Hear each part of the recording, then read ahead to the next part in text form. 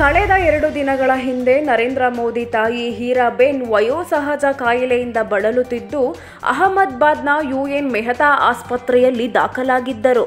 ಆದರೆ ಇಂದು ಚಿಕಿತ್ಸೆ ಫಲಕಾರಿಯಾಗದೆ ಶತಾಯುಷಿ ಹೀರಾಬೆನ್ ಕೊನೆ ಉಸಿರೆಳೆದಿದ್ದಾರೆ. ಪಂಕಜ್ ಮೋದಿಯವರ ನಿವಾಸದಲ್ಲಿ ಅಂತಿಮ ದರ್ಶನಕ್ಕೆ ಅವಕಾಶ ಮಾಡಿಕೊಡಲಾಗಿದ್ದು, ಕೊನೆಗೆ ಪಾರ್ಥಿವ ಶರೀರವನ್ನು ಹಿಂದೂ ಸಂಪ್ರದಾಯದಂತೆ ಅಂತಿಮ ವಿಧಿವಿಧಾನಗಳನ್ನು ನಡೆಸಲಾಯಿತು. ಕೊನೆಗೆ ಮೋದಿ ಚಿತೆಗೆ ಅಗ್ನಿಸ್ಪರ್ಶ ಮಾಡುವ ಮೂಲಕ ಅಂತ್ಯ ಸಂಸ್ಕಾರ ಮಾಡಲಾಯಿತು. ಗೃಹ ಸಚಿವ ಅಮಿತ್ ಶಾ ಬಂದೋಬಸ್ತಿನಲ್ಲಿ ಪೊಲೀಸರಿಂದ ಅಮಾನವೀಯ ವರ್ತನೆ ನಡೆದಿದ್ದು ಜನರ ಆಕ್ರೋಶಕ್ಕೆ ಕಾರಣವಾಗಿದೆ. ಯಲಹಂಕ ಏರ್ಬೇಸ್ನಿಂದ ಅಮಿತ್ ಶಾ ತೆರಳುವ ವೇಳೆ ಆಂಬ್ಯುಲೆನ್ಸ್ ಒಂದು ಆ ಸ್ಥಳಕ್ಕೆ ಬಂದಿದ್ದು, ಆ ವೇಳೆ ಪೊಲೀಸರು ಆಂಬ್ಯುಲೆನ್ಸ್ ಅನ್ನು ತಡೆದು ಸರ್ವಿಸ್ ರಸ್ತೆಯಲ್ಲಿ ತೆರಳುವಂತೆ ಸೂಚಿಸಿದ್ದಾರೆ.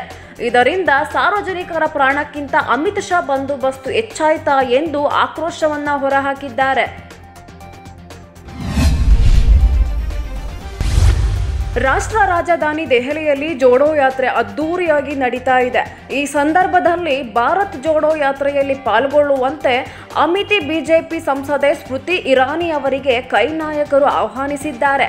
ಕಾಂಗ್ರೆಸ್ ನಾಯಕ ಮತ್ತು ಉತ್ತರ ಪ್ರದೇಶದ ಮಾಜಿ ಎಂಎಲ್ಸಿ ದೀಪಕ್ ಸಿಂಗ್ ಅವರು ಸ್ಮೃತಿ ಇರಾನಿಗೆ ಪತ್ರ ಬರೆಯುವ ಮೂಲಕ ಜೋಡೋ ಯಾತ್ರೆಗೆ ಕರೆದಿದ್ದಾರೆ. ಆದರೆ ಈ ಪತ್ರಕ್ಕೆ ಇರಾನಿ ಇನ್ನೂ ಉತ್ತರ ಕೊಟ್ಟಿಲ್ಲ. ಕಲ್ಪತರು ನಾಡು ತುಮಕೂರಿನಲ್ಲಿ ಜೆಡಿಎಸ್ ಎರಡನೇ ಹಂತದ ಪಂಚರತ್ನ ರಥಯಾತ್ರೆ ಮುಂದುವರೆದಿದೆ. ನಿನ್ನೆ ಚಿಕ್ಕನಾಯಕನಹಳ್ಳಿಯಲ್ಲಿ ಯಾತ್ರೆ ಮುಗಿಸಿ ಇಂದು ತುಮಕೂರು ಗ್ರಾಮಾಂತರ ಕ್ಷೇತ್ರಕ್ಕೆ ಯಾತ್ರೆ ಕಾಲಿಟ್ಟಿದೆ. ಹಳ್ಳಿ ಹಳ್ಳಿಗಳಲ್ಲೂ ಜನ ಕುಮಾರಸ್ವಾಮಿಗೆ ಅದ್ದೂರಿ ಸ್ವಾಗತ ಕೋರುತ್ತಿದ್ದಾರೆ. ಶಾಸಕ ಗೌರಿಶಂಕರ್ ಕ್ಷೇತ್ರದಲ್ಲಿ ಕಾರ್ಯಕರ್ತರು ಅಭಿಮಾನಿಗಳ ಸಂಭ್ರಮ ಮುಗಿಲು ಮುಟ್ಟಿತು. ಚೀನಾದಲ್ಲಿ ಕೊರೋನಾ ಅಬ್ಬರ ಜೋರಾಗ್ತಿದ್ದಂತೆ ರಾಜ್ಯದಲ್ಲಿ ಅದರ ಭೀತಿ ಹೆಚ್ಚಾಗಿದೆ.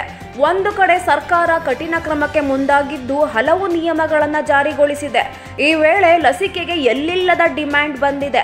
ಲಸಿಕೆ ಪಡೆಯುವವರ ಸಂಖ್ಯೆಯಲ್ಲಿ ಗಣನೀಯವಾಗಿ ಏರಿಕೆಯಾಗಿದ್ದು, ಕಳೆದ ಎರಡು ತಿಂಗಳಿಗೆ ಹೋಲಿಸಿದರೆ ಆರು ದಿನಗಳಲ್ಲಿ ಲಸಿಕೆ ಪಡೆಯುವವರ ಸಂಖ್ಯೆ ಹೆಚ್ಚಾಗಿದೆ.